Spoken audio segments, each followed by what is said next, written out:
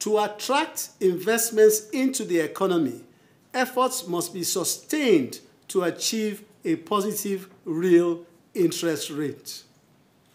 This would enhance the economy's competitiveness for international capital, thereby improving the exchange rate.